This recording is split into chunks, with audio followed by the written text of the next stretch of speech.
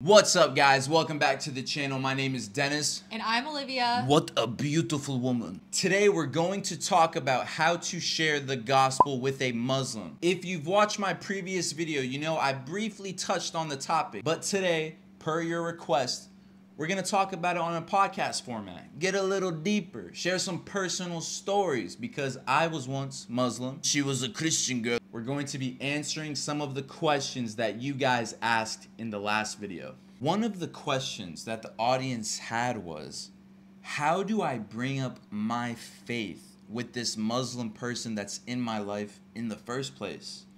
What are your thoughts on evangelism? I am a firm believer that if you have encountered Jesus and he has made an impact in your life, why wouldn't you share it?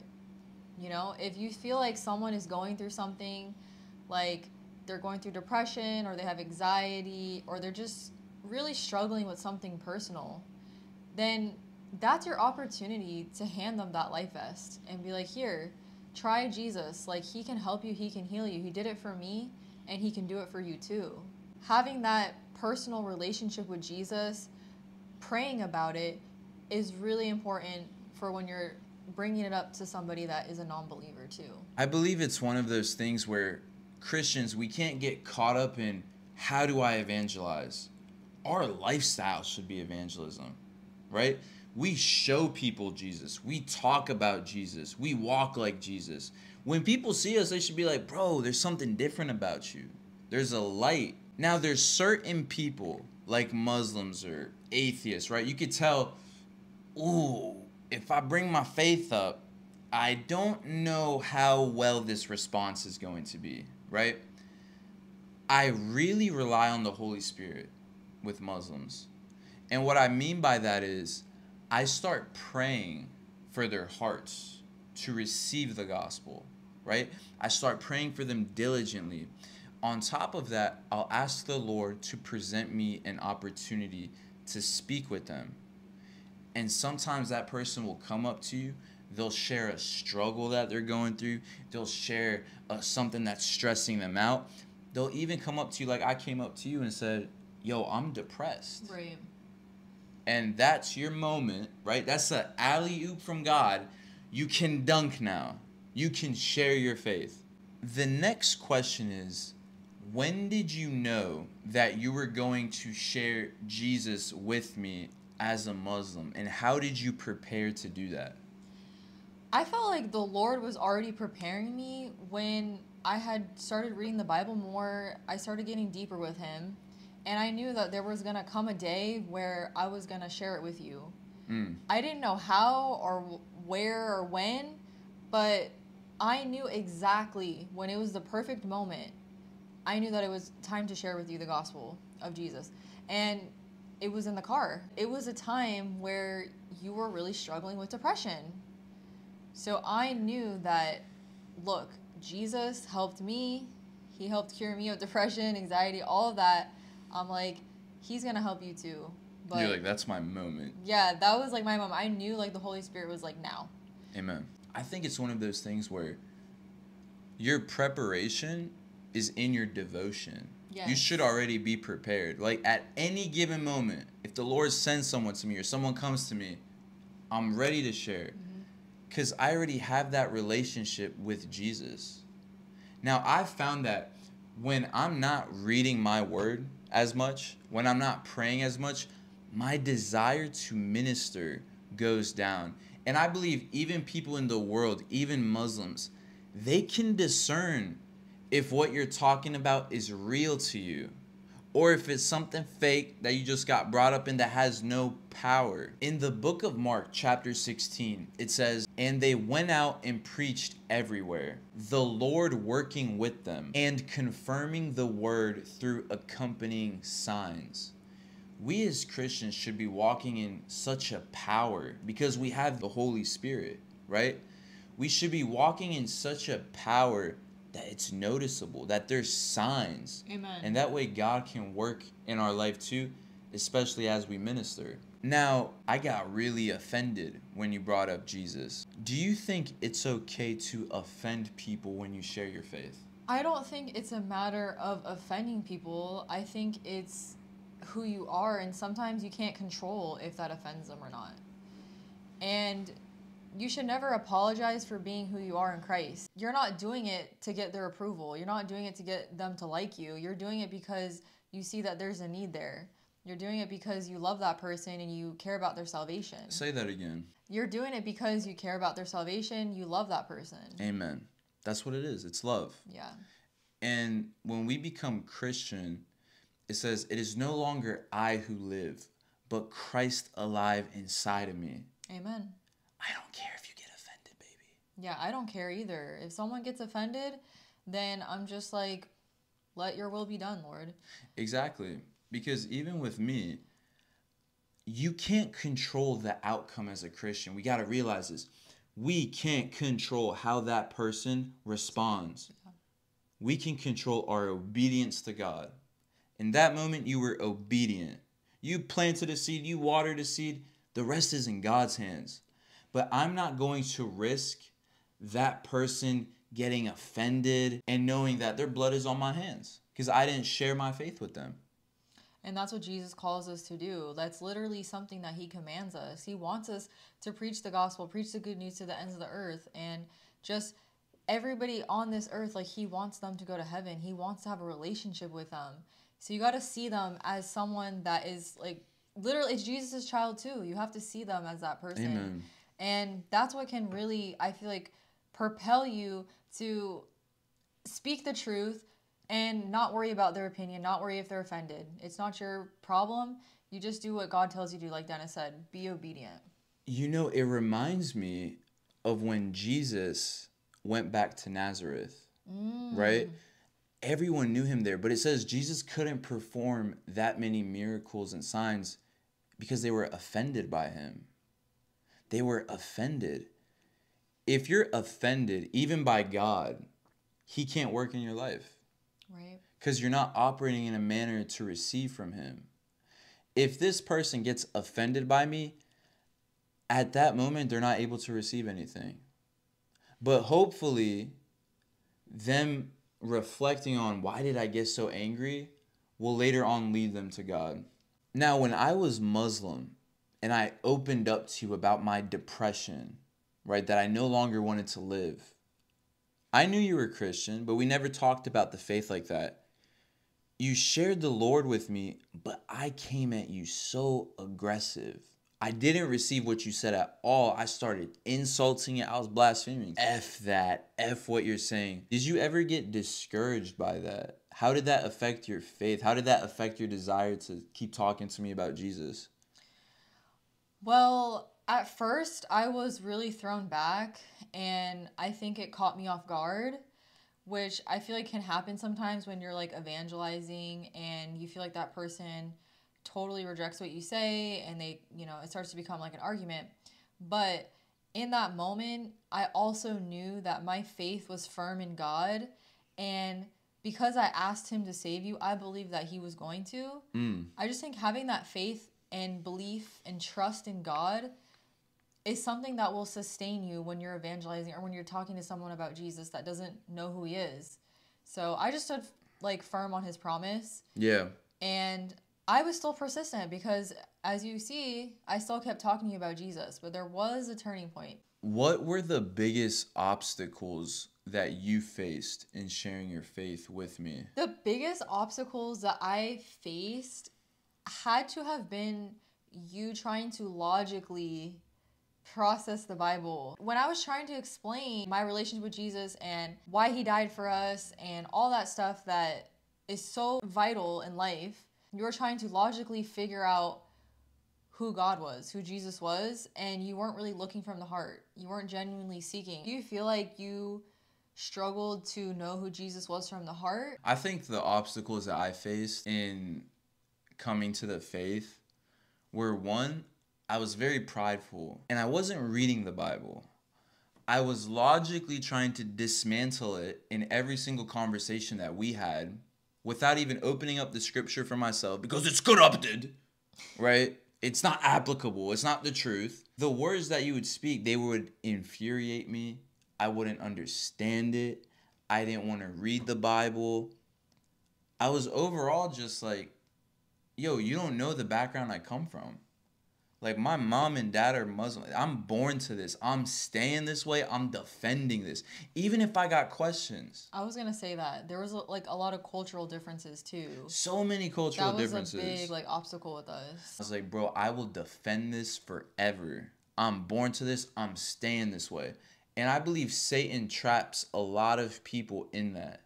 No one should follow something because their parents follow it, because their friends follow Absolutely. it. It's got to be the truth for you. And in the Bible, it talks about how the truth will make you free, and the absolute truth is Jesus. I love that verse Me too. because that was the first time God ever spoke to me. Oh yeah, that's right. Right? I remember that. I ain't gonna get into it in this video, but something that happened. Yep. It was not good. And I told Olivia, yo, I just heard a voice speak to me and said the truth will set you free. And I was like, that's literally a Bible verse. I Like, was like, what? I was like, I swear that was in like Disney Channel or some movies. Like it was so cliche, the truth will set you free. Yeah. But then you showed me John 8 32, I was like, okay, this is weird. yeah, I thought I'm like, did he like read the Bible? Like, how did Nah, he know that? Nah. But that's another key point too. You bought me a Bible. Yeah. I think too, if you really want to know who Jesus is, you got to read the Bible. Like, you got to read God's word. It's literally like his mind, but it's about him too. It's about him and us. Developing that personal relationship takes time, just Yeah. like if you're dating somebody, you Mm. know? You don't marry them right away. You take time to spend time with them. You talk with them. So it's like a thing. You have to get to a point where you've shared your faith. Now they have to have the desire to seek it on their own. Right, but they may not even want to seek it on their own. But that's why you're planting a seed. You're giving them a Bible. Amen. You're letting them know, like, hey, this is available whenever you're ready to read it. God's there. The, the Bible's here. All the information is available for you. When we would start to argue about Jesus, was I ever able to make you doubt your faith? No. No way. Yeah, I was firm on God. Like, the Lord had already, He made Himself apparent to me. He was so real that nothing was going to shake that. And I had a good foundation with Christ, which is so important to have a solid, good ground foundation with Jesus so that the roots can't be pulled by Satan, by other people and their opinion, none of that stuff. You need to have a firm foundation in Christ so that way nothing can tear you down, nothing can knock your faith down. And that way you know, like, look, I trust in God. Whatever happens, I put it in His hands. And I asked that because I read a couple of comments where someone's like, I shared my faith. They came at me with so many questions and, you know, harsh responses that I'm starting to doubt my faith. Hmm. And I think that's where you need to be very careful. And what I mean is, when I first got saved, Jesus became real to me. We got to look at the parable of the soil. Some seed fell by the wayside, some fell on stony ground, some grew up with thorns, others fell on good soil. I heard the word, I immediately sprung up. I was like, I got to share this with everybody. But then people will kind of ask me some tough questions, right? And I personally didn't get discouraged, but I was like, yo, like I gotta go find this in the Bible. Cause if I don't, it's gonna bother me. And I know it's gonna leave a crack in my foundation for my faith, right? So take it as encouragement, but recognize it takes time to get to a certain level. Yeah, and I totally agree. Like, even when I first evangelized to you, I didn't know everything in the Bible. I think, like, people get really flustered Yeah. by not knowing everything in the Bible. That's okay. Like that's okay. God is going to teach you. We're all we're all Christians that are learning over our lifetime. We're always learning something new when, when we read the Bible. Sometimes I'll read the same chapter and I'm like, I didn't even see this the last time I read it. Being firm in the word of God and what you do know, God can still use you. Even if you feel like little or like, "Ooh, I'm, you know, still new to all this stuff." Just share your faith. Show through your actions. Show how God has worked in your life. Share a testimony. Amen. That That's good. huge. Like sharing your testimony, even if you have nothing else to say, can really impact somebody. I think people get discouraged by how long it can take for a Muslim or an unbeliever to give their life to Jesus? I think it's all about contending for what you believe in, for what you want. You will have to pray in the spirit. You're going to have to pray against demonic spirits that are after that person. Because Satan is after your mind, he's after your heart, and he doesn't want you to be rooted in good ground with Jesus. He wants you to be confused. For a Muslim, especially, to accept Jesus comes with a great cost. Mm, yes. You can't rush that. And I know we went through hell, it felt like. For years, you were praying for me. Yeah, the, it, it took a long time, guys. Like, the stories that we tell on YouTube, it took a long time for Denis to come to faith with Jesus. Was years in the making. Yeah, it didn't just happen, you know, in, in a day. Because for a Muslim to confess Jesus Christ as Lord, they have to think about turning their back on their family, on their past generations, on their culture. You're essentially losing everything. You're losing your identity, is your so called identity. Yeah. And when you shared Jesus with me, and then I actually started seeking God for myself without even telling you, Jesus was becoming more and more real to me. But the thoughts going through my head were, there is a big price for this. If my mom and dad find out, if they even realize that I'm seeking after Jesus and becoming a Christian, they're gonna flip. So I think it's really important to be patient with this person because even in the Bible, it says, as long as the earth remains, so will seed time and harvest.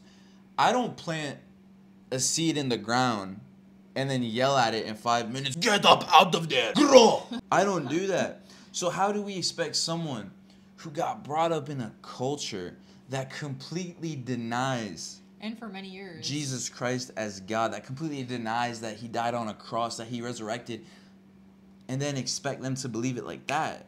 No, we got to encourage them. Seek the truth, man. Seek the yes. truth. Seek the truth. Now, some people, they're convinced that what they believe is the truth, right? They're like, nah, I believe in this God. I believe this. This is my truth. God bless you, bro. I respectfully disagree according to my scriptures.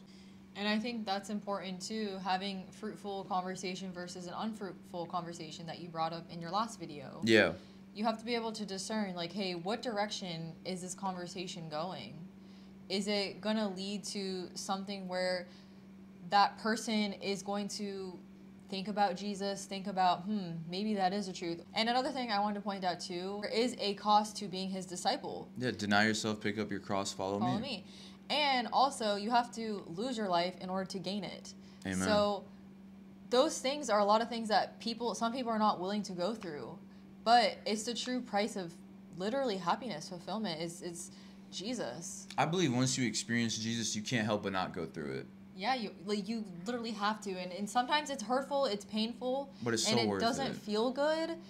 But in the end, it is so worth it. I just want to encourage like you guys too, just to keep praying, keep believing God for whoever you love that you want to be saved, and being patient. It's all that stuff is huge and just praying over that person your seed that denis talked about there was a point where it was apparent jesus or denis and i think a lot of people are scared to lose that relationship and it can sometimes compromise their faith especially if you're dating a muslim right you came to a point where you're like there's gonna have to be a decision that's made.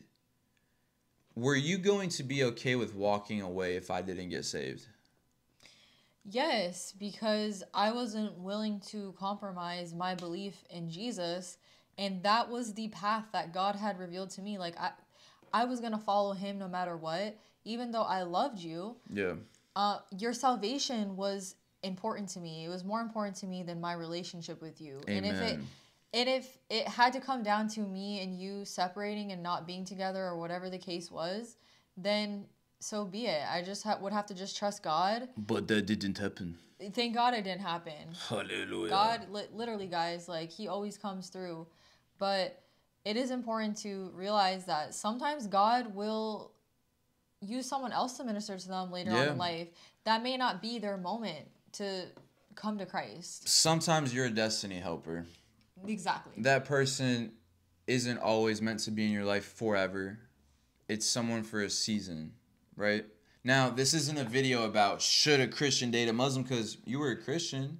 Your faith wasn't at the level that it is now because had it been, it definitely wouldn't have worked out. no. But we'll probably make another video Yeah. where we talk about navigating a relationship with someone that's Muslim and you're Christian or someone who's an Yes. unbeliever. Because I think a lot of people have questions about that and kind of how we overcame that with the Lord.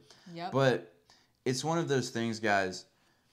Every person's salvation is more important than their comfort, more important than your comfort.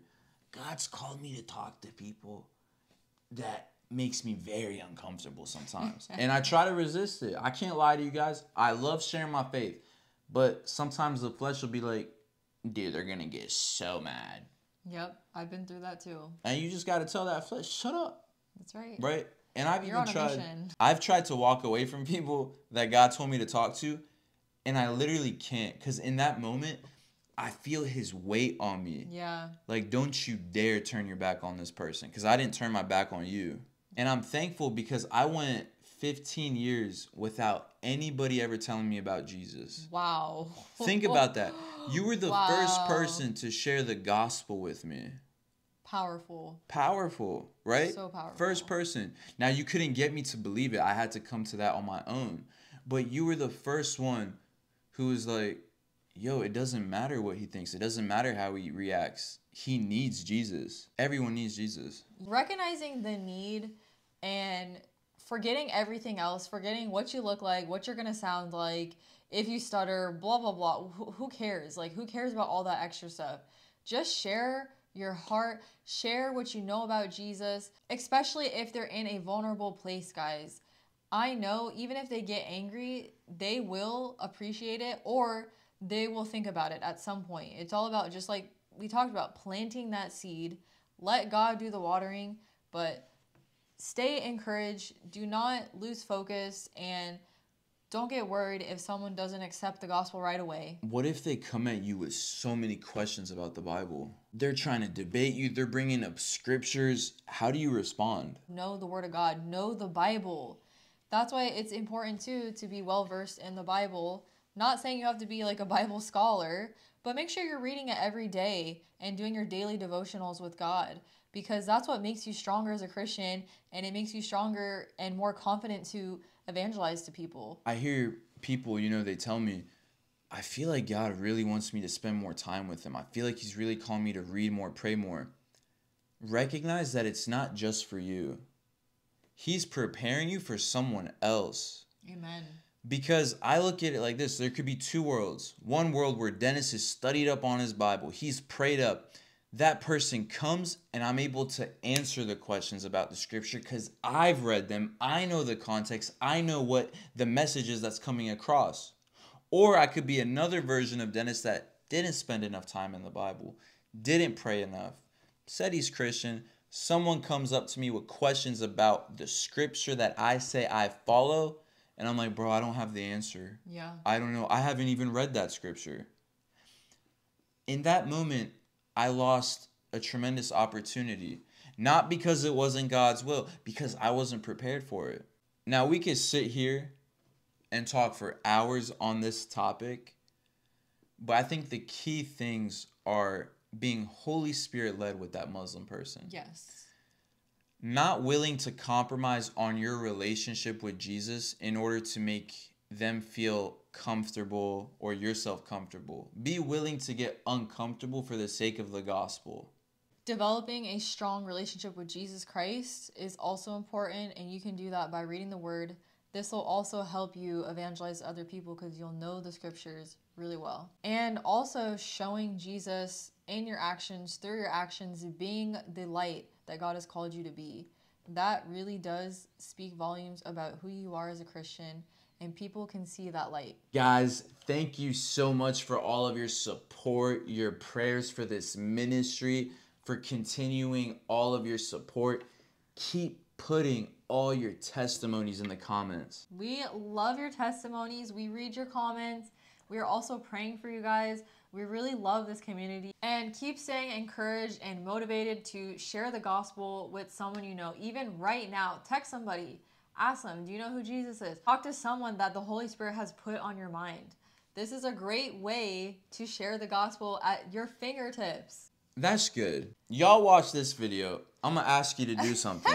After this video, you're going to ask the Lord who He wants you to share the faith with. He's going to tell you, because we serve a living God who speaks, and you're going to do it in the name of Jesus. And then you're going to leave a comment and say, I did it. Yes. Leave I that comment. it. Be like, I sent that text. I called them. I spoke I to them. I did it. Yes. and we're praying for you guys. I know I can't respond to every comment. I try my best, but I love reading them. You guys encourage me tremendously. I share them with Olivia, I share them with my family and friends. It's so beautiful. And even in the comment section, you guys are sharing your faith, you're ministering. We don't know who's reading it. We don't know who needs to see it a brother, a sister, an unbeliever, a Muslim. But I love you guys tremendously. We're praying for you. Thank you for all your support for this ministry, for liking the videos, for subscribing, commenting. Much more to come. And make sure that you comment any other podcast videos that you want to see with us, any topics, any questions that you guys have. We love to interact with you guys. I think the next topic might be can a Christian date a Muslim or marry a Muslim or an unbeliever? That's a good one. If you want us to make a video about that or anything else, comment below. Until next time. Until next time. In Jesus' name, we love you guys. Be blessed. Talk to you soon. Amen.